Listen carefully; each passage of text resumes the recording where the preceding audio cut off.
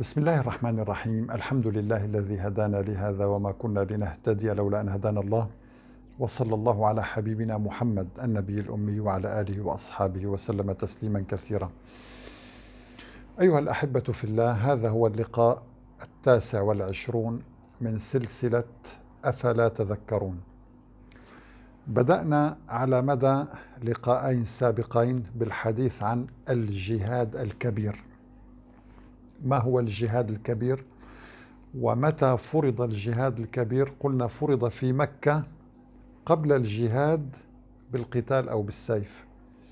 وبينا أن سيدنا ابن عباس رضي الله عنه يقول معنى قوله تعالى وجاهدهم به جهادا كبيرا أي بالقرآن.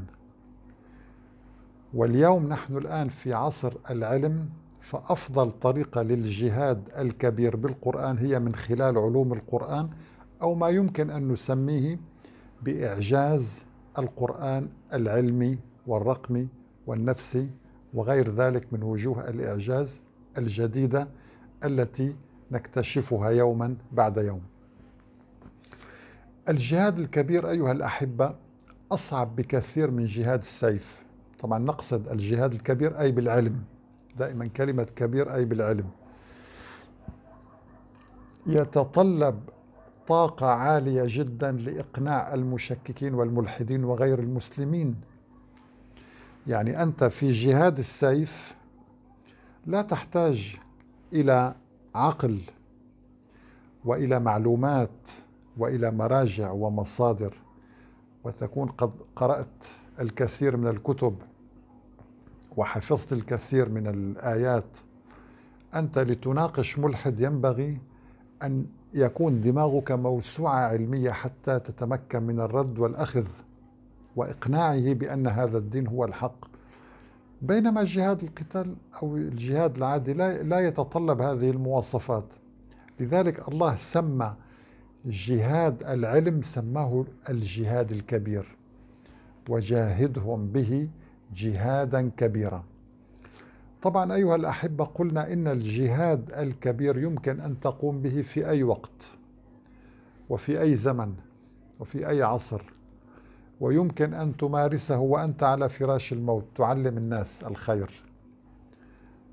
انظروا أيها الأحبة جهاد العلم مفتوح لذلك هو كبير. طبعا أيها الأحبة هناك فئة من الملحدين يدعون أن القرآن فيه أخطاء علمية كثيرة. كيف نرد عليهم؟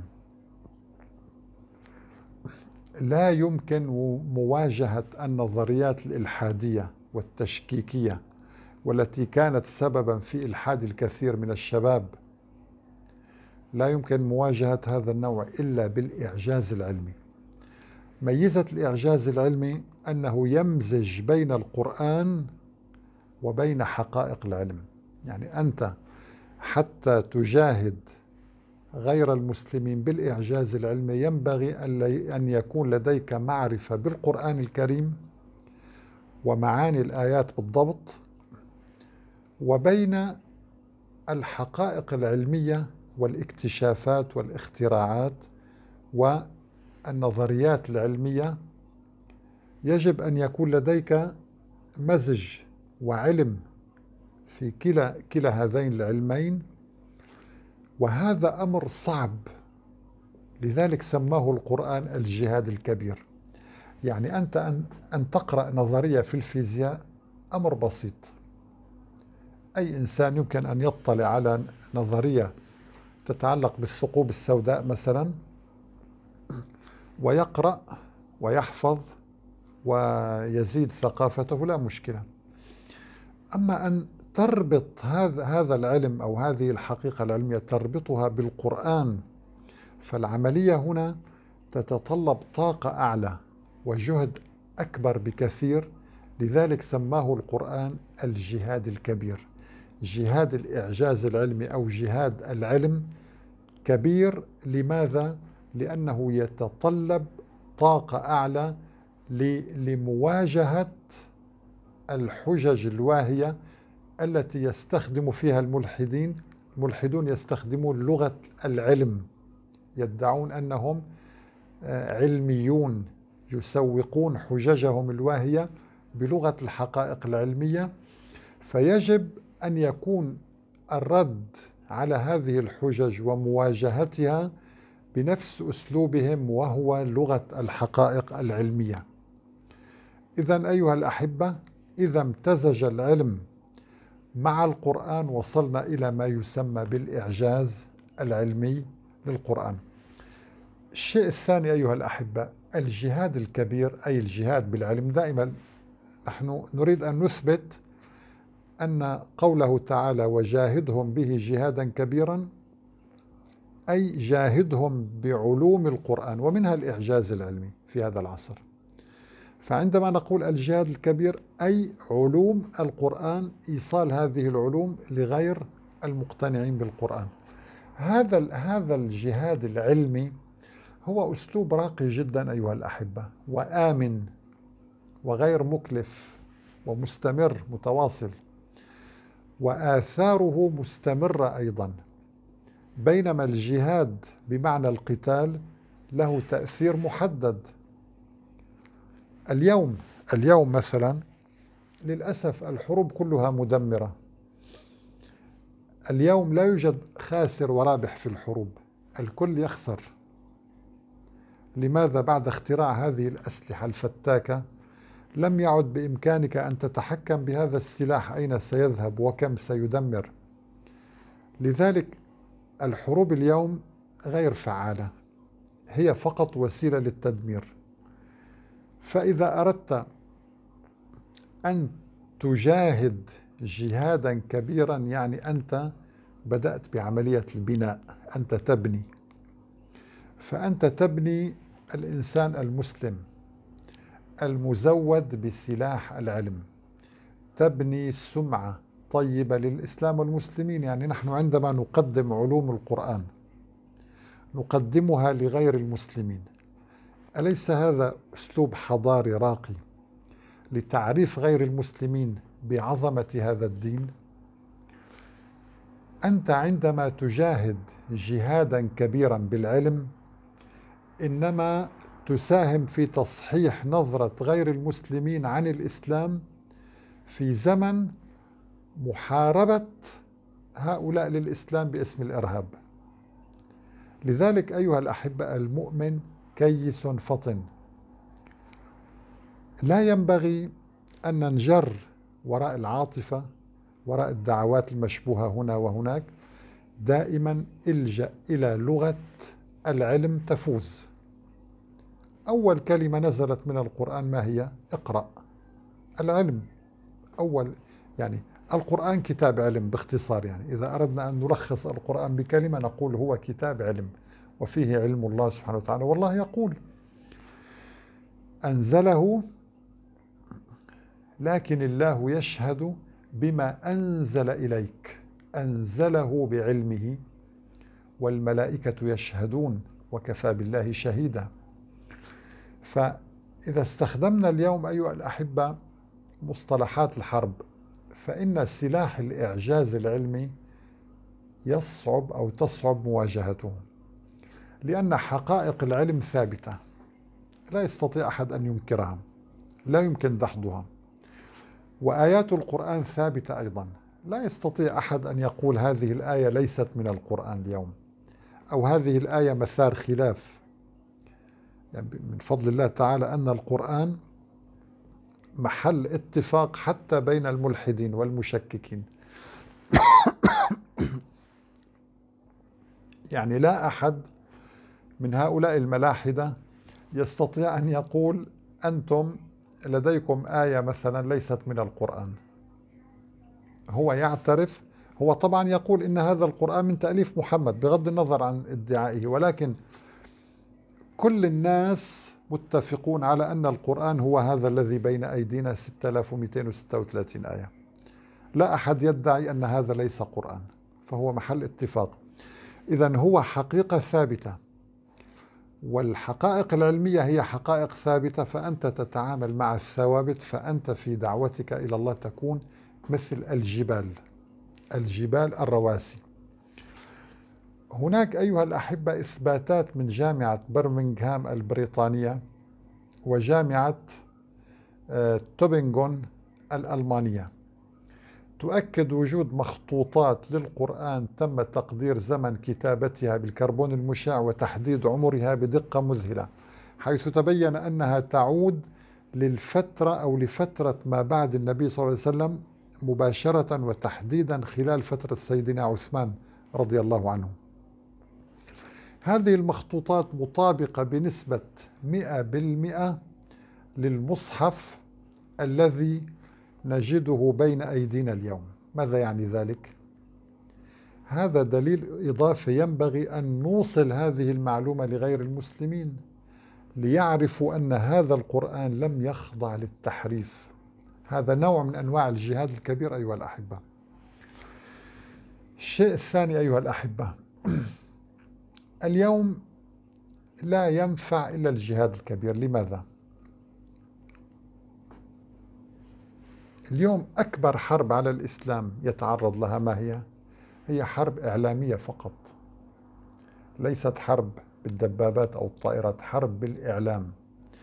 تجعل هؤلاء المسلمين يشكون في دينهم وتحولهم إلى ملحدين يحاربون هذا الدين. إذا الحرب هي حرب كلمات وإعلام.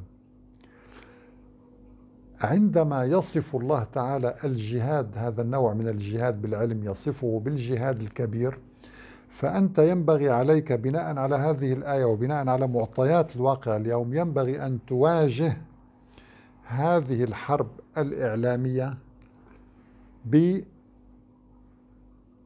بتصحيح نظرة الآخرين عن الإسلام. هم يتهمون الدين الإسلامي بالإرهاب. تعالوا ابحثوا عن كلمة سيف. كم مرة وردت في القرآن الكريم؟ ولا مرة صفر. طيب كلمة إرهاب لم ترد إلا مرة واحدة. كل الآيات التي فيها الرهب يدعونه رغبا ورهبا. يدعوننا رغبا ورهبا. آيات تتحدث عن الرهبة من الله معظمها من الله ليس لها علاقة بمصطلح الإرهاب. لدينا آية واحدة تقول وأعدوا لهم ما استطعتم من قوة ومن رباط الخيل ترهبون به عدو الله وعدوكم.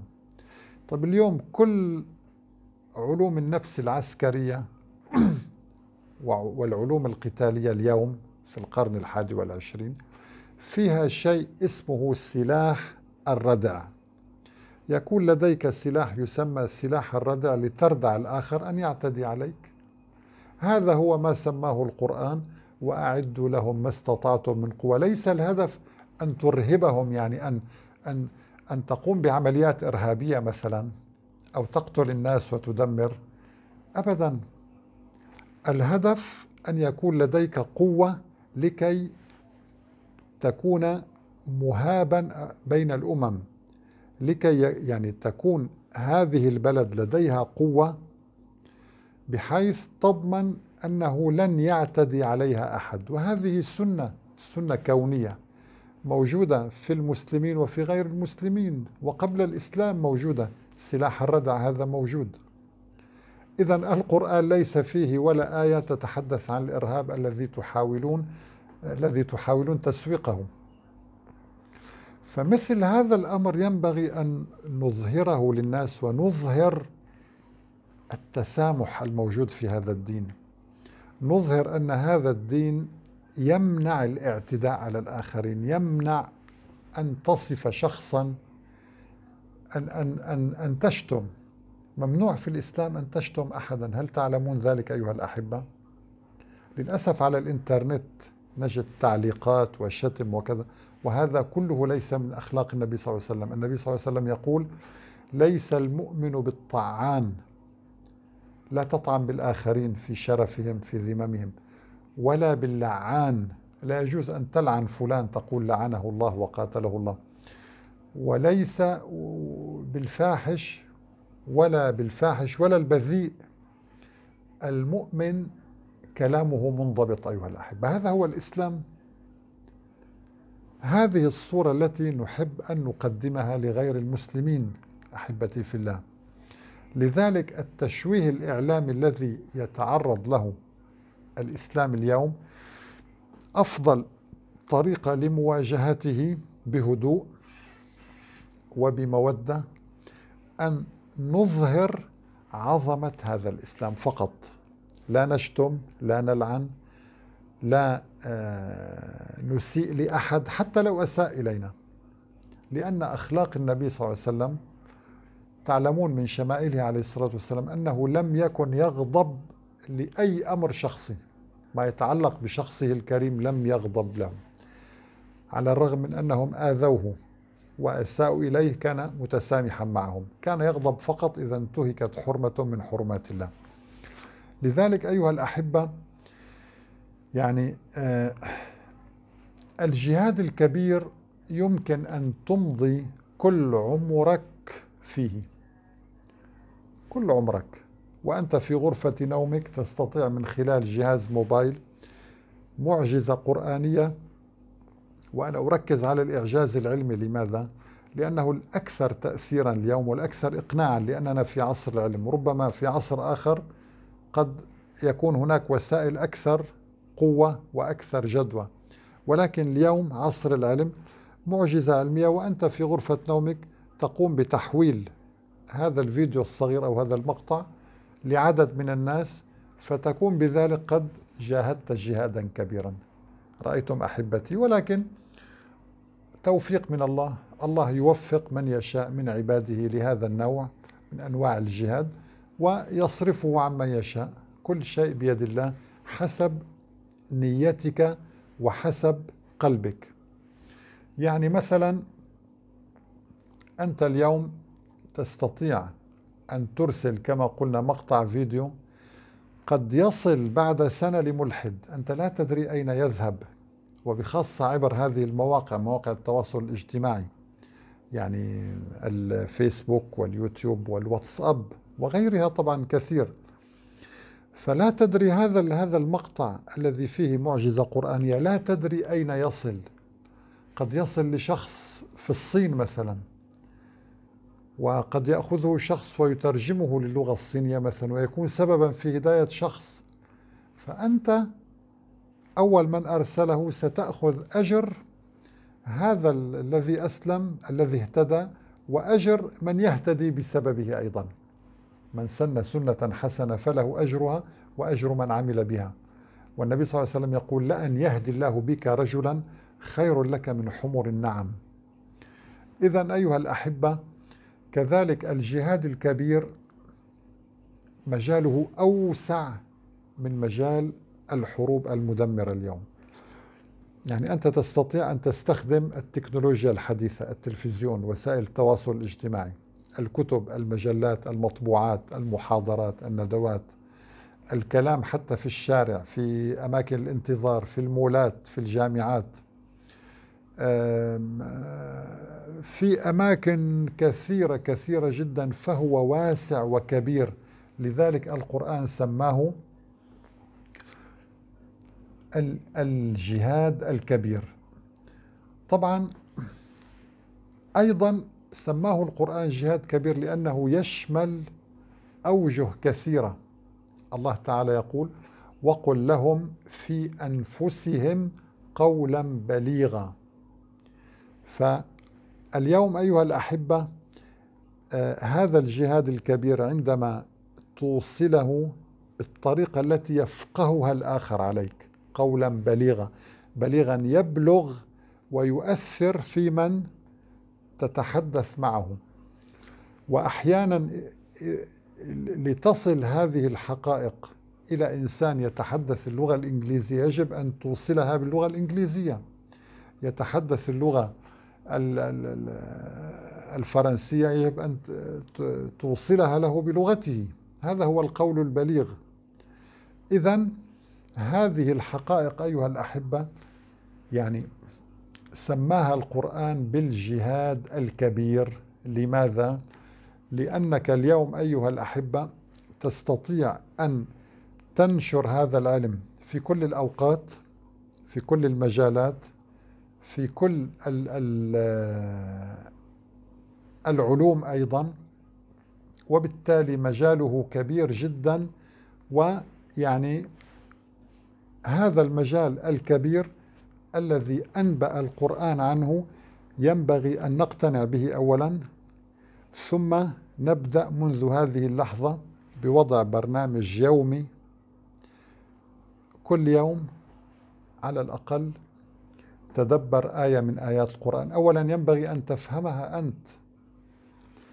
اشرح هذه الآية مثلا لابنك لزوجتك لقريبك لأخيك لجارك لزميلك في العمل. الأقربون. وأرسل هذا المقطع الفيديو إلى من تستطيع.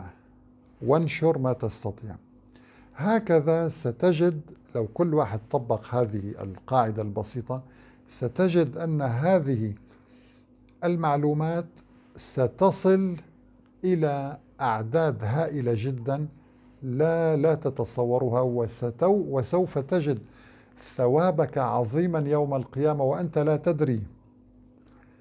تجد ثواب عظيم وعطاء من الله وجنات عرضها السماوات والأرض وأنت تستغرب لمن هذه. فهناك أعمال تسجل لك وأنت لا تدري. ببركة نشرك لهذا العلم النافع. وأخيرا أيها الأحبة أسأل الله تبارك وتعالى أن يوفقنا وإياكم لنشر علوم القرآن وأن نكون من الذين يجاهدون جهادا كبيرا بالعلم.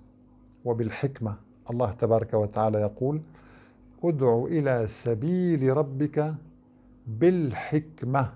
رقم واحد. الحكمة. اثنين والموعظة الحسنة.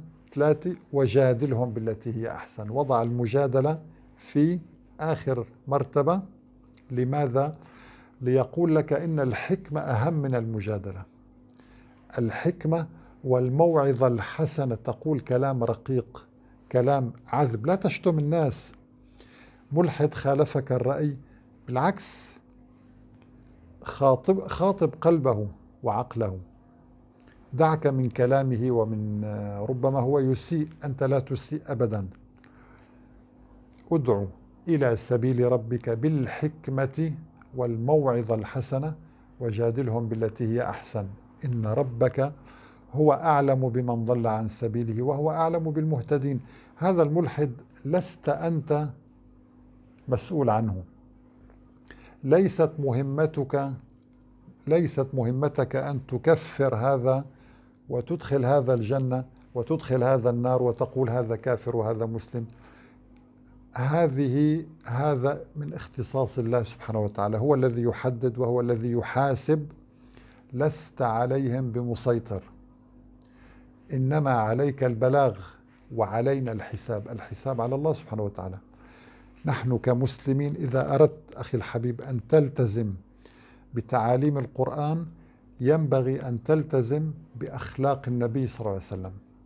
ماذا كان يفعل النبي؟ تلتزم بأخلاقه من المحبة والتسامح وعدم تكفير ولا تنفير الآخرين من هذا الدين وأن توصل لهم هذه المعلومات وجزاك الله خيرا. ليس مطلوب منك أكثر من ذلك. وبالتالي إذا كل واحد قام بهذا الدور والله صدقوني أيها الأحبة سيعم السلام والهدوء وتنتهي هذه الفوضى التي نراها اليوم في عالمنا الإسلامي. للأسف نسأل الله تبارك وتعالى أن يكشف الغمة عن الأمة وأن يرينا الحق حقا ويرزقنا اتباعه وأن يرينا الباطل باطلا. ويرزقنا اجتنابه إنه سميع قريب مجيب. وآخر دعوانا أن الحمد لله رب العالمين. والسلام عليكم ورحمة الله تعالى وبركاته.